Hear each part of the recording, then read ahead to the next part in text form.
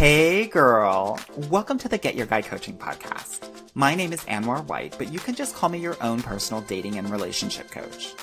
Each week, you'll hear actionable advice, tips, and strategies that you can implement in your own love life. I'm talking about healing your heart, dating effectively, and understanding men so that you can, you guessed it, get your guy.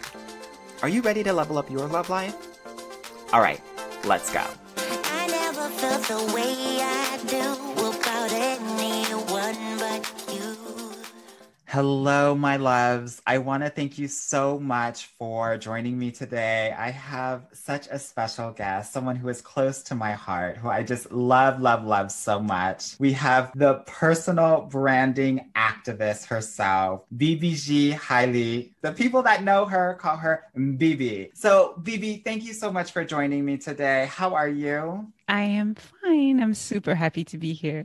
I'm so happy that you're here too. And for those that are listening, we are going to be talking all about imposter syndrome and how it can take over one's life. But before we do that, can you just tell everybody kind of what you do and who you serve and the amazing work that you do? I have just recently started saying personal branding activist. Before, I used to call myself a coach. And you know, like when you have shoes that don't fit quite Yeah. right, or you have clothes that are, and I was like, well, I'm not a coach. And then I'm an ex consultant. So I was like, okay, so am I a personal branding consultant? No, advice. No, I'm an activist.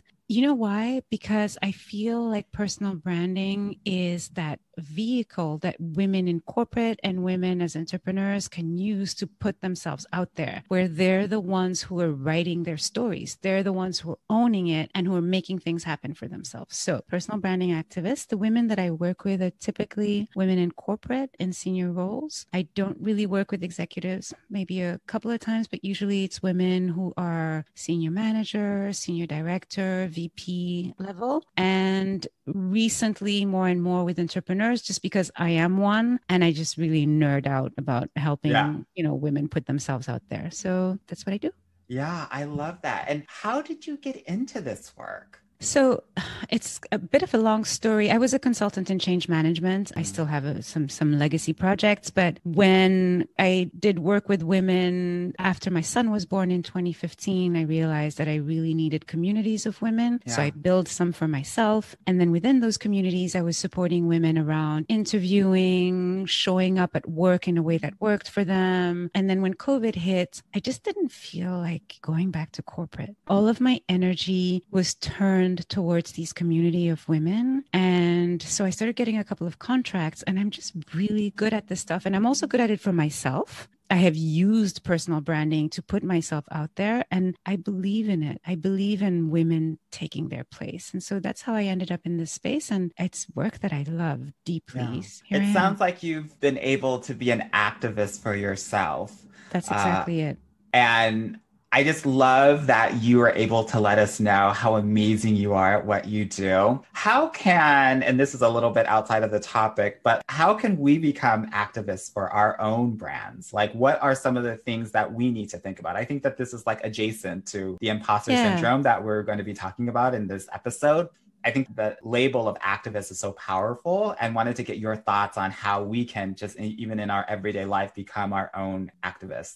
I think you're going to love my answer because the answer is boundaries. And the way you put boundaries is by knowing what you are spectacular at. And one of the things that trips up women is that we feel the need to be spectacular at so many things that we feel like we're not being spectacular at all those things. Yeah. And so we feel like a fraud putting ourselves forward. But I'm really bad at some things, a lot of things. The fact that Same. I'm clear about, yeah, but once you know, like you are an unbelievable coach, the fact that you know what you're good at allows you to say, I'm not good at this. So you're putting boundaries around that and you're saying, I will show off about this because I'm the one who can help you in this space. But if you ask me, and this is my particular case, to manage a project for you, I can guarantee failure because I suck at project management. Yeah. I will forget details. I, you know, I don't know how to do details. So by being very, very clear about that one or two things that you're super good at, but also not believing yourself when that little voice says, but I'm not good at anything. Mm-hmm. It's those things that you think are so easy for you that come to you like you don't even have to think about it. You're like, yeah, but that's not anything. That's like, can't everybody do it? Yeah. No. No, they can't. So that's the, I guess the number one place to start is figuring out from where you are speaking. Yeah. Those one to two things too. Yeah. Yeah. Yeah. I love that. Okay, girl. Well, let's talk about it, right? The big O elephant in the room, imposter syndrome. So, what is it to you and how do you think about it? And I just want to let everyone know that although she has tooted her own horn a bit in this podcast already, she is the imposter syndrome expert. She is the person that knows the most about this in my life. And that's why I have her on my podcast. So I just want to let you all know that you are going to be treated so much during this episode. This is so meta because as I hear you say that, it's like triggering me. I'm like, but I, wait a minute, I'm not an expert. I'm sort of interested in this stuff, but I'm not an expert. So She this is. this is very she good. is. Don't do not believe her. She is. She is. Let me talk about what it's not first, if I may. Okay. It's not a lack of self confidence. A lot of the times people will say, I wish I had more confidence. I wish I was more self confidence. And like, it's my imposter syndrome talking. It's not the same thing. With lack of self confidence, you're going to be doubting your ability to do something. Often there is a, a- an inverse relationship with experience. So when you start in a job, you lack self confidence. When you've been doing that job for a year, you have more self confidence, et cetera, et cetera, right? With imposter syndrome, there's a, it's actually the success and the ability has been demonstrated. So the definition of it is an internal feeling of intellectual phoniness felt by high achieving people when they're faced with a task, despite evidence of success. So you have gotten that promotion. You have gotten that PhD. You know what you are doing, but you are attributing your success to everything but your competence. You're attributing it to luck. You're attributing it to that amazing team. You're attributing it to being at the right place at the right time. You're attributing to the fact that you spend all night doing it. Anything but the fact that you are competent at this. And then what happens is what is very particular about it is that fear of being found out. Because you have succeeded, the door has been opened for you. You are in the space, but you are feeling like a fraud. You are feeling like somebody's going to wake up and realize Yeah. that there's somebody who's not supposed to be in here, and that is me.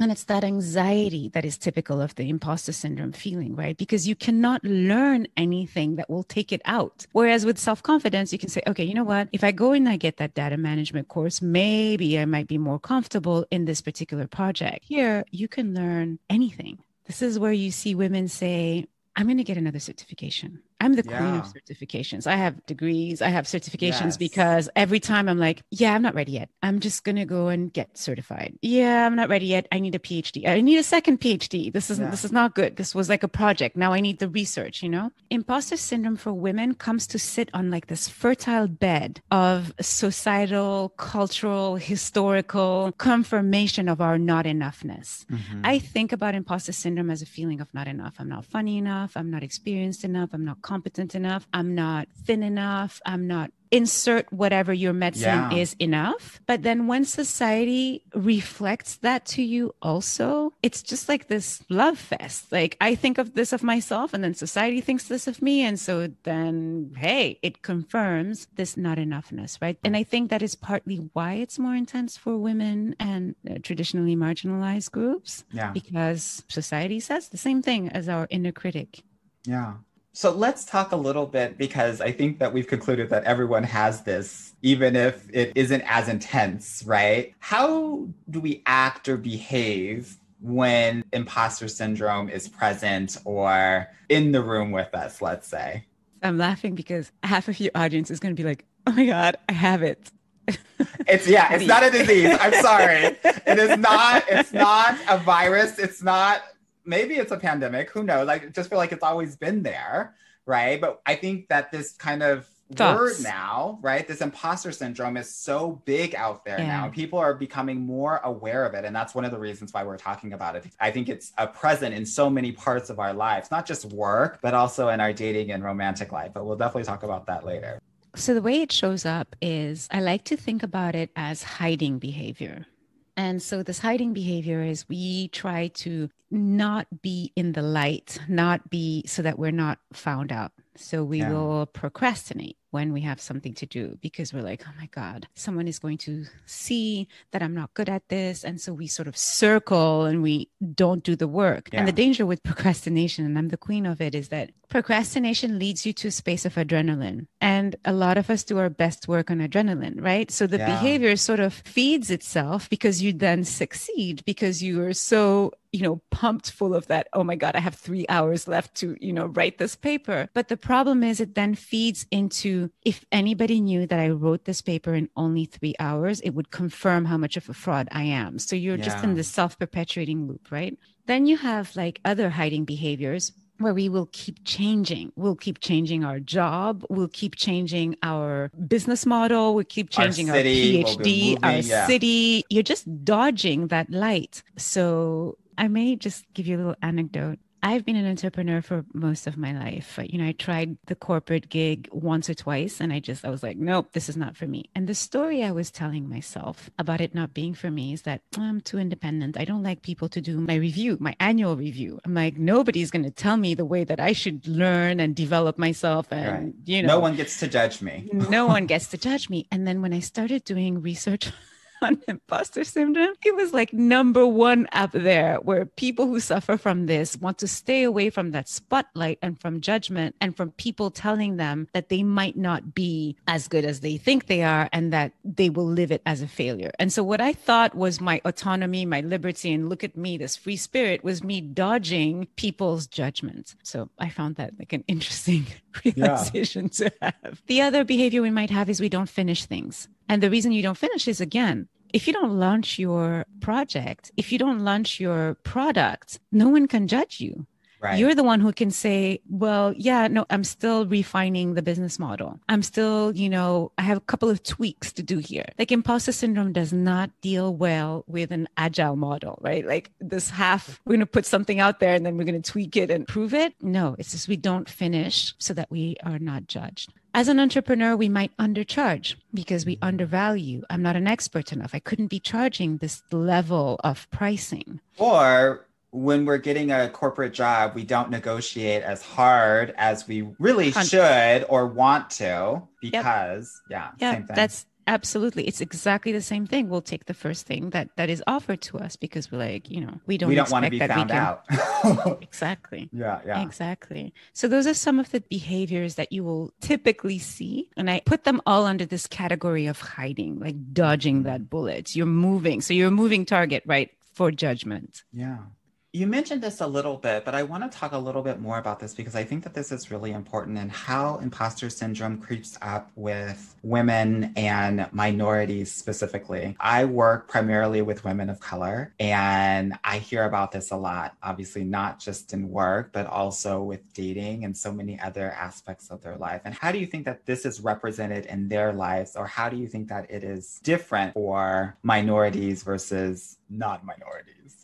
Can I give you an example? Of course. because this came up yesterday. I saw a video that I was like, oh my God, this is a perfect example. So let me just set it up first. When you're not enough feelings, like I had said before, meet the world telling you you're not enough, you have this thing happening where it's like, oh, it's confirmed. The world is telling me the same thing that my inner critic is telling me, right? And that is what is mm-hmm. happening a lot of the times with minorities, with women. Recently in Quebec, there was the first Black man that was hired as the chief strategist. Did you see that? Yes, for the bank, right? Yes, for one of the largest institutions in Quebec. And he was hired as the chief strategist, economist. And he was interviewed. And in that interview, two things happened. Number one, the interviewer called him by his name without the normal trappings of respect that one might expect when you speak to someone at that level. Mhm. Then the second thing that happened is the interviewer spent a lot of time and I was looking at his body language. So this is this is me. I will own that this is me analyzing that video. But the interviewer spent a lot of time on the fact that he was the first quote unquote diverse person to have been hired by that position. That was the first question he asked. And if you look at the face of the strategist, he's like, I can't believe this is the first question that was asked of me. And so the way he asked that question was in this surprised tone of voice. And then he said, So, how does it make you feel as a person ish from diversity to have been hired to this prestigious organization? So, this is a man who he's there for a reason. Top and he's.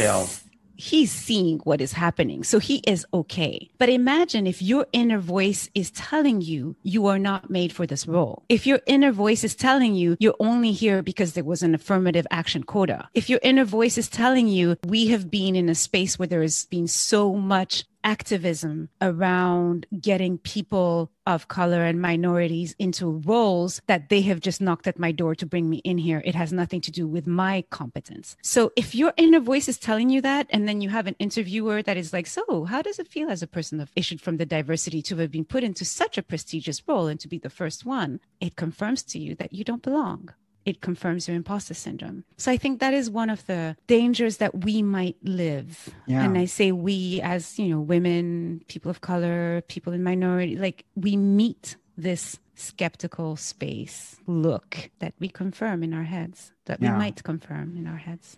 Thank you for that. Let's talk about how imposter syndrome can manifest itself in our careers, right? What I do know is that my clients and my listeners out there are very serious about their careers and their money. And this is something that I think potentially hinders them. So I, I would love to get your thoughts on how this shows up and how they can even potentially overcome it in the professional space. So one of the ways it shows up is what we discussed around your capacity to negotiate for what you're Yeah. worth. Mm-hmm. But there are a couple of places also where it shows up. So one of the things that is behind imposter syndrome is what is called your competence model. So think about it as how you answer the phrase, I am competent when I. And so I am competent when I can do everything by myself. I am competent when I know everything about a subject. I am competent when I don't need to study to know something it comes to me naturally. So there's a model, there's a mental model that we have around the way that we think about competence, and that mm-hmm. feeds into imposter syndrome. So imagine if your mental model is, I don't need any help to do this. You come into a project, you're given a new task, a new project. You don't ask for resources. And women do this a lot. You don't ask for a budget. You don't ask for human resources. You don't ask for a subject matter expert. You don't ask for time. And then you go out and you assume that you can do all of this by yourself. And then you freeze like a deer in the headlight because you realize that you can't. But now you think it's because of you, because your model says, I should be able to do all of this by myself. Yeah. So it puts us in situations where we have set ourselves up to fail. And not only have we done that, but we have set ourselves up to fail in a way that will confirm our lack of competence. So understanding those models, understanding the way we think about competence allows us then to see our behavior when we are hired in an organization and we think, I should know everything about everything. We know this is our model. So we'll say, Hey, do you think I could book a round of interviews with a few people here so you can teach me the culture? Hey, do you have any documentation that I can read and I'll take a month to get onboarded properly and then I'll be ready to go for the project rather than, yeah, tomorrow I'm able to do this. I remember one mandate that I started, I did not ask for help. And this was stuff that I had no idea how to do. I knew Yeah. the big pieces, but there was an expertise, a subject matter expertise that I needed the client to give me. And I didn't ask because I assumed that I was supposed to know how to do it myself. I think So- also what happens too, really quickly, is that if you ask for help, right, there's this level of feeling like you're incompetent, Yep. right? But so many people ask for help so many times. I was just chatting with a client and she's going up for this promotion. And I was like, okay, well, you need to talk and create allies with people that are going to be interviewing your old boss, this potential new boss. And That was all foreign to her. Was like, no, we need to create relationships here, right? And ask for what you want, right? And allow people to help you without thinking that it means that you're incompetent to actually get this job. If anything, it's going to help you and they're going to feel honored to actually help you and be asked to help, right? Yeah. Hundred percent, hundred percent. It's it's really really critical, and it's the only way that we're going to stop the inner critic and the voice in our heads if we're able to stop and say, "This is what I need." And it brings us to the beginning of our conversation when you ask me, "How can we brand ourselves?" If you know what you're excellent at, you can say, "I can do this piece." But for the rest of it, this is the type of help that I'm going to need. Yes. Yes. I love that. Okay, girl. Let's actually talk about dating and imposter syndrome and dating. I know my listeners are like, okay, this is really good. This is like great information, but like, what does this mean about my love life? So I want to ask you about imposter syndrome and dating and kind of what that looks like for you. And then I'll share my thoughts. A couple of things here. And I actually made some notes about this to manage my own imposter syndrome. Okay. Um, so I think one of the characteristics of imposter syndrome that I talked about, right, is this notion of not enoughness, right? Or even the feeling that everyone knows something that you don't, that you are not that person who understands, who gets it. Like there's something happening that you don't get, right? Now, imagine coming into the dating space with the feeling that there is something that you don't totally understand. This feeling like you're on quicksand, something is happening that you don't get. The first thing that's going to be impacted is your standards. Yeah. How do you set standards for what it is that you want when you're on quicksand? You're like, I'm sure there's something I need to be understanding here. So you're not setting yourself as I'm allowed to set standards. I'm allowed to say what I want. If you're coming from a place of I'm not enough, how do you say this is what I want? That's These right. are my boundaries. So standards is number 1. Number 2 is boundaries. How do well, you set- Let's talk about standards for a second because okay. I think this is so so so so critical right? That if you are thinking that you're a fraud, that you are not lovable, right? That just because you haven't had a consistent boyfriend or a long term relationship, that you are unlovable, then your whole threshold is so much lower than it needs to be. And then it's like a perpetual, it's a cycle, right? It's like I keep on attracting these not so great guys because I'm using my history that maybe isn't super full as an indication of my potential my love yeah. potential, my lovable potential, all of that. And so I think standards are so important because some of us will actually accept lower than what we know of ourselves to be because we would rather have something and feel we've done something, we've accomplished something, when deep down inside we know that we're being an imposter, even in our own love life.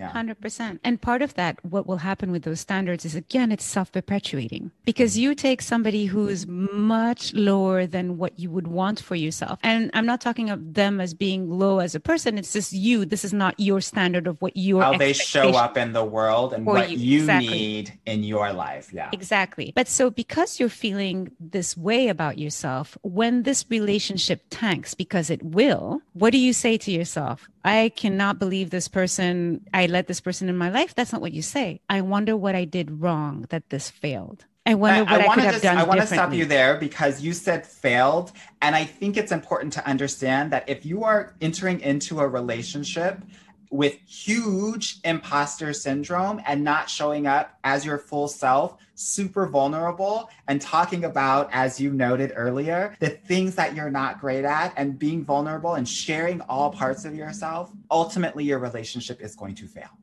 Bibi is 100% correct, right? That like we cannot allow ourselves to kind of navigate our relationships with this I'm not enough they're going to find me out, right? And once they find me out, they're going to break up with me because you're going to be representing yourself in a way that is not true to who you are. And what I do know is that if you are doing that, they're never going to be able to love you because you're not showing up as you. 100%. And I mean, the logical next one is boundaries, right? Yeah. You and I have talked about this so much, and boundaries is space of learning for me, very much so. But how do you set boundaries if you're struggling with imposter syndrome? How do you set boundaries if you feel like you're not enough? How do you say to somebody, this is no, this is my limit? You know, I remember having gone on a date, one particular date, where he was an hour late. And I didn't ask myself if that was a problem. Mm literally didn't. And it's in hindsight that it was like, what just happened there? Somebody showed up an hour late and you did not ask yourself if that was a problem. So the setting of boundaries is something that will be really, really impacted by the way that you think about yourself and whether you think you're enough or you're not enough. Totally true. And also, sometimes you're going to have to set those boundaries before you actually figure out that you are enough which is so hard, right? And I think that's my value add for so many of my clients. I'm like, no, we're setting these boundaries and you're going to catch up to the boundaries, right? Because what will happen is that when you set those boundaries, and you actually see people following them, you start to have physical proof of possibility that, oh, I'm worth this. I'm enough to have these boundaries because people are following them. All I had to do was just set them up. Absolutely. Right. So it's important to realize that, like, it's not one of these things that, like, one of these days you're just going to feel like you're everything and, like, now I can set my boundaries. You're going to have to set your boundaries well in advance. That's how the order of this goes. And people don't do 100%. that. They're 100%. waiting, they're waiting to work on themselves. They're waiting to like get their shit together. They're waiting to like when I'm together and I'm not a hot No. mess, that I It's that's not- when I'm gonna like come in and I'm gonna kill it and I'm gonna get it's my not a man and all of cognitive process it's Mm-mm. not a process that happens in all. your head it's not a cognitive process it's one where and this is you know in the dating space but in any space it's one where you do not believe and i'm saying this from a place of love and self-compassion you do not take for granted the chatter that's going on in your head you do not take it for granted. And what that means is when it is telling you one thing, and then a coach like you will say, Look, trust me, no, you do this, you do it, and then it demonstrates another option to you. And so you see that there is more than one possibility, That's more right. than one reality. And you can be like, you know what? The reality of waiting one hour for this fool to show up is not one that I want to continue entertaining. Yeah. And now you have an option because you have tested reality B that feels much better. And then what does that do? What that ultimately does is it puts into question all of the other crazy, shitty, non serving thoughts that you may have and gives you possibility, gives you expansion to have a new reality, right? Or at least be open to seeing a new reality, which I think is transformational, It is. Right? It is a hundred percent. The very idea, and this has been transformational for me. The idea that the fact that you have a thought in your head does not mean that there needs to be an action related to that thought Yeah. is absolutely transformational. It's not because I think that I am not enough that I need to act upon it. I can question it. I can be like, well, what if I was? What if that's not true? What if That's he's it. the one who's the biggest loser in town? You can edit that if you want. But what No, if he's the one who's Girl, we're problem? not editing that. he, he's probably the loser. You know what I'm saying?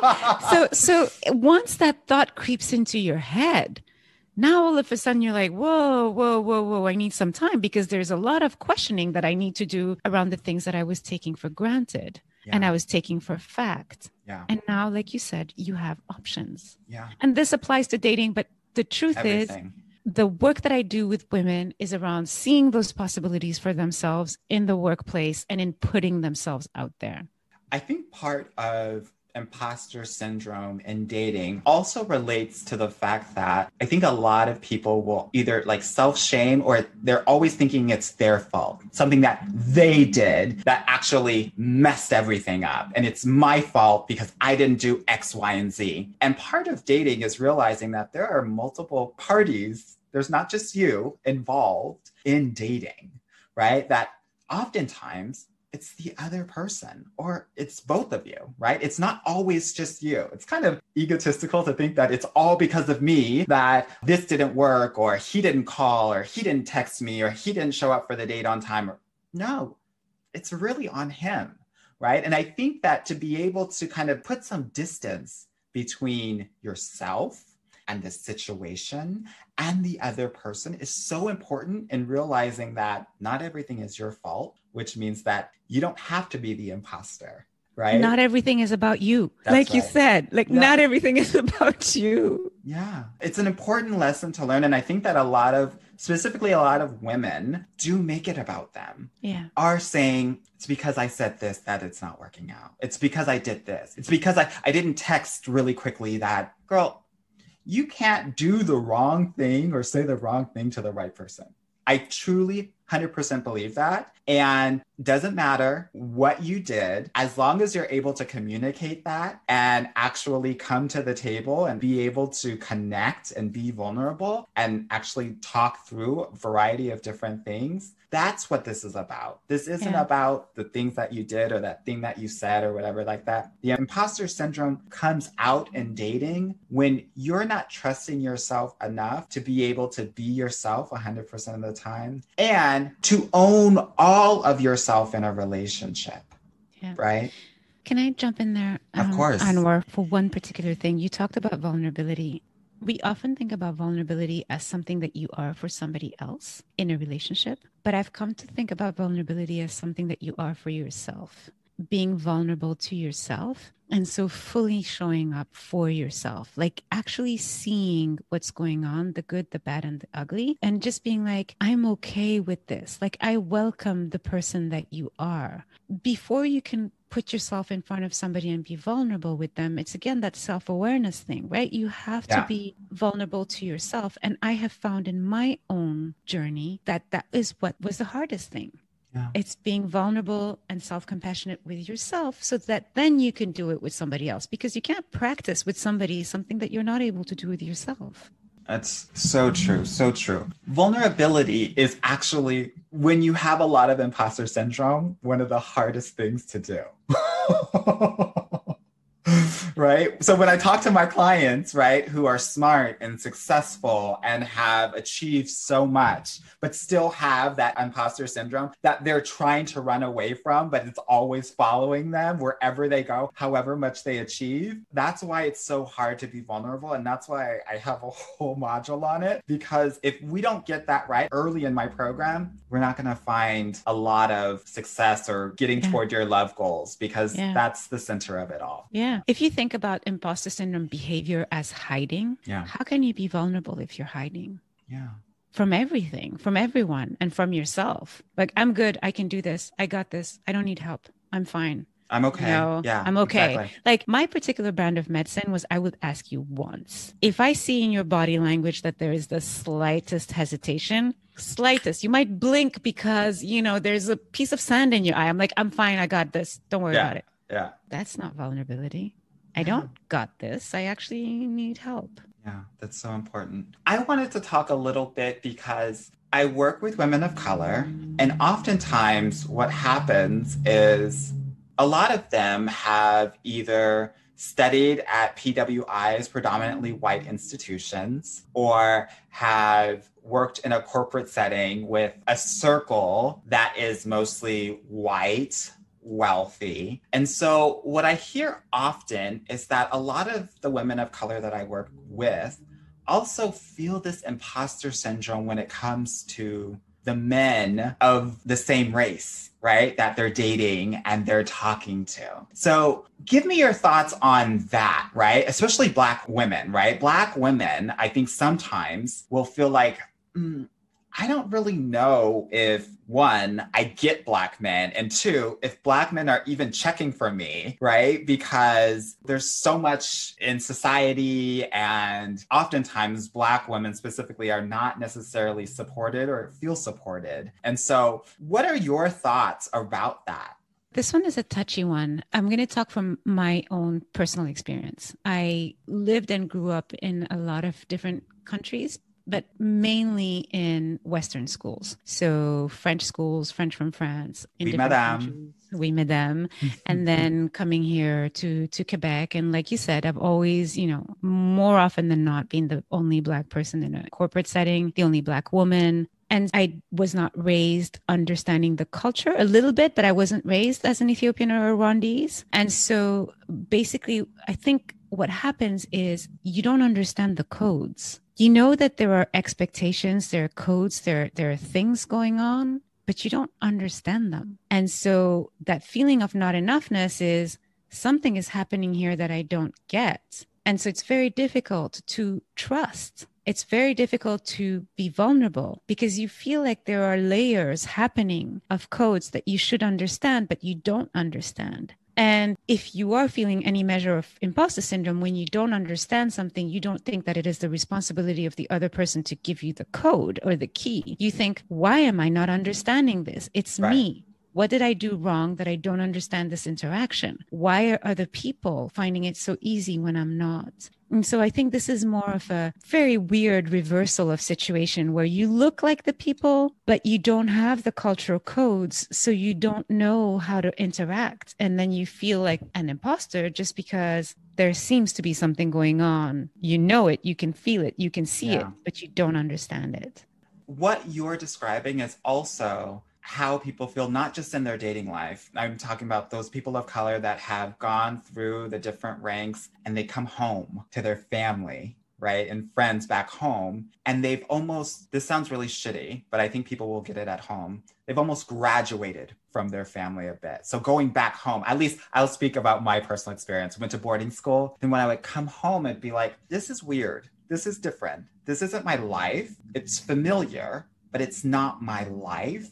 I don't get it. I don't understand it anymore, but I know that I belong here in Mhm. some way, shape, or form. So I feel this pressure to lean into this to try to make this happen Yeah. right? And one of the reasons why I was bringing this up because I think it's important. And one thing that I wanted to say in this podcast is that for women of color, I want you to be dating all kinds of men.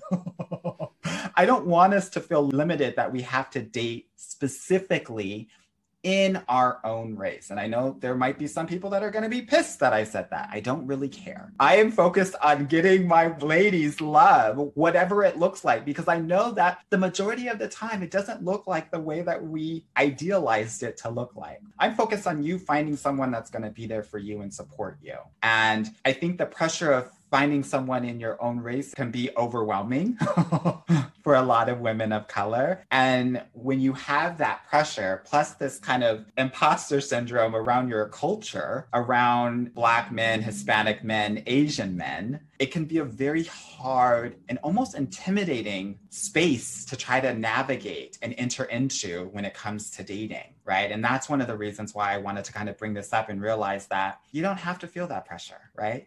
You get to date and talk to whoever you want to talk to. And if they get you, which is really what we want to focus on, versus us trying to focus on trying to get them and making them the priority, we're doing this wrong, right? We want to make sure that there's a vibe there and there's some compatibility there. What are your thoughts, BB? I do tend to date primarily Black men. I do hear you on the capacity to be seen and heard and recognized and the difficulty that can come from that. I think it's multi layered. You know, there are so many different experiences that come from Yeah. there.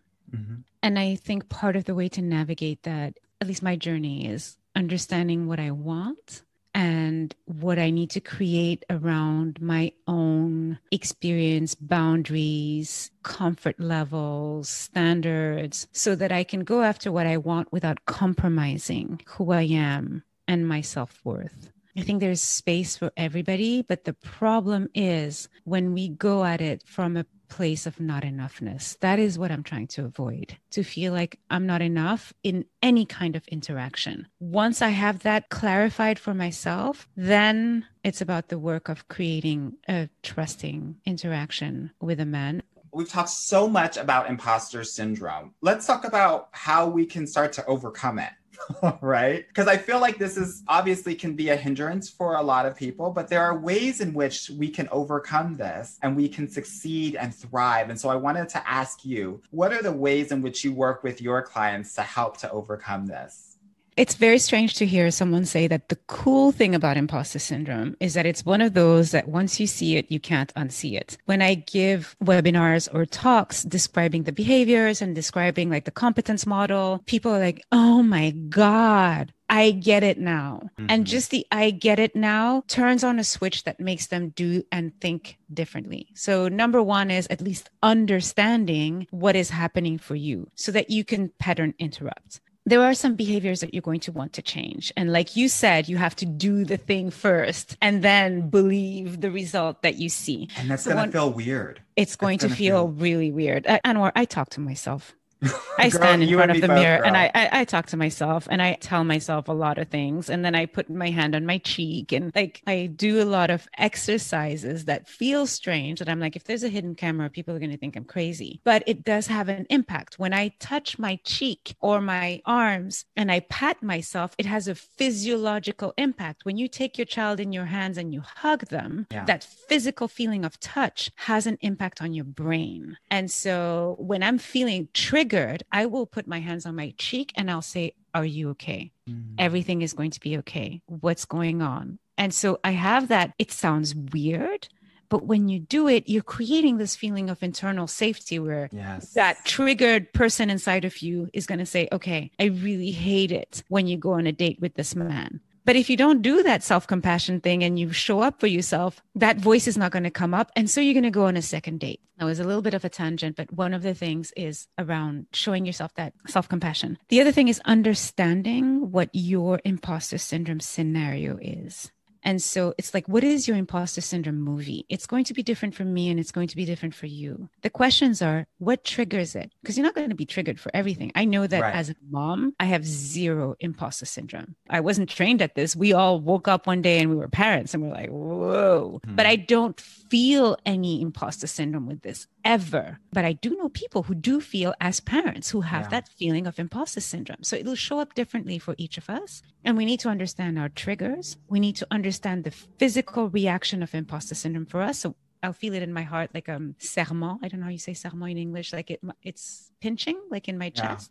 And then un- so understand what situations give you that that feeling. And so when you have that movie in your head, you know to interrupt it. When you start, when I feel the pinching in my chest, the next question that comes up is, huh, I wonder what's going to happen. Or I, I now I get curious over, about what's around me because something's happening in my body that's sending me a message that there is a potential issue. Another thing that you can do, and that's critical, and I think even in dating is super important, and it, I think this is work until the day we die, is change the way you talk to yourself. I read somewhere, I don't know where, that our brain is always listening. So if you tell yourself, oh my God, I can't believe how stupid I am. Oh my God, I'm such an idiot. I can't believe I just said that. Oh my God, how could I have said such a dumb thing? Your brain is primed to feel stupid, idiotic, and dumb Yeah. when you are in an interaction with somebody. So you have to check the words. You really do. Even when it feels uncomfortable, when you use the words, stop yourself. or even I don't know. Or even, I don't know. Uh, And you taught me that actually. You Mhm. taught me that to take the time when I don't know comes out, just, you know what? I do know. Let me just give it. What if I knew? What would it be? Yeah, exactly. So that's really important. Language matters. Language matters. We all know that for so many things, and how we talk to ourselves matters. And then this is this notion of what you believe and what you don't. You know, you and I talked about this during the in the middle of the podcast, I think, where taking our thoughts for reality that has to lead to an action. If I think this about myself, it means I need to do this. But what if it was something else? Right. He's an hour late. I must not be that attractive. He's an hour late. He wasn't raised right. One is about me, one is not about me. That's right. Both of those exist. Which one do I choose? So it's that question. Just even if you don't make the choice, because that's like the other step, but even if you don't make the choice, ask the question. What if it wasn't that? What if I didn't believe that first thought that comes to my mind and I looked for an alternative thought? So those are some things you can play around with. I love it. So we had here sound like physical touch actually does help us to become secure within ourselves, right? The way that we talk to ourselves. I always say, talk to it like you are your child or speak to your inner child and not necessarily adult you, because adult you, I think, is not even like really there. It's really like when you're triggered, you got to talk to your own inner child or even like a best friend, especially in the third person, right? Anwar, you got this. How are you feeling? Why are you feeling this way? 100%. Understand your body roadmap and understand where you are feeling triggered when your imposter syndrome is starting to come up. For me, it's my stomach, right? It's like the left side of my stomach. I know, like, okay, something's going on here. I've got to Yeah. figure out what's going on. Yeah. And I'm asking myself, okay, why am I feeling this way? What's Mhm. going on? Yeah.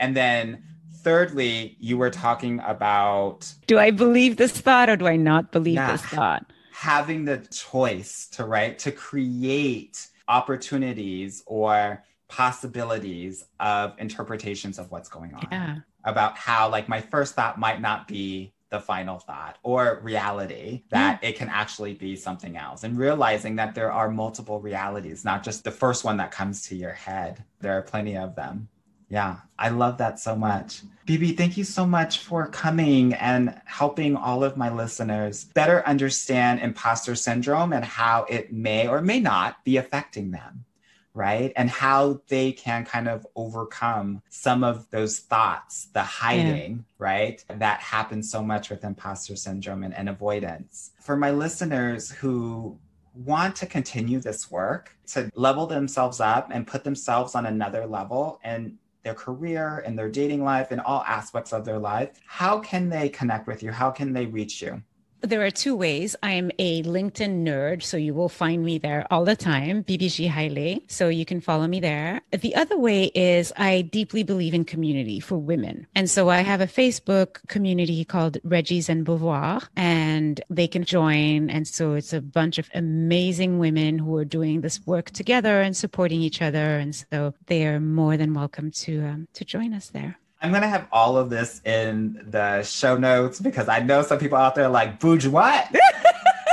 what girl what that girl say? so people go to the show notes, click on those links, join the Facebook group, find her on LinkedIn, connect with her, have a conversation with her. What I love about your work, BB, is that you create possibility in individuals that have had a limited view of their potential. Yeah. And I think the beauty of your coaching is helping people become their own activists, but also being their activists until they can take over the reins. 100%. Thank you for saying that. On my website, I used to say, What I want is for you to fire me as a coach. Yeah, that's, what That's it's my about. goal. Yeah. Fire me so you can just be your own badass self and you don't need my voice in your Yeah, head. yeah. So, people, reach out to her. She is going to help you if you feel like you need the help for this. Phoebe, thank you so much for joining me, girl. This has been so much fun and so amazing. I'm so you. glad that you've been here and been able to share all of your knowledge. As you'll tell, I let you go, girl, because this is your domain. It is not mine. And I wanted the people to hear it pure and from your mouth. So I'm just so happy that you were here. Thank you so much. Thank you. I loved being here. I loved hanging out with you. And I hope that your listeners take a little bit of something that can be useful for them. They're going to take here. a lot of it. I know I have. Thank you, Anwar. Hey girl, thank you so much for listening to the Get Your Guy Coaching podcast. If you like this episode and want to talk with me personally, please book a free consultation at www.getyourguycoaching.com slash apply or subscribe and leave me a review wherever you listen to your podcasts. Talk soon.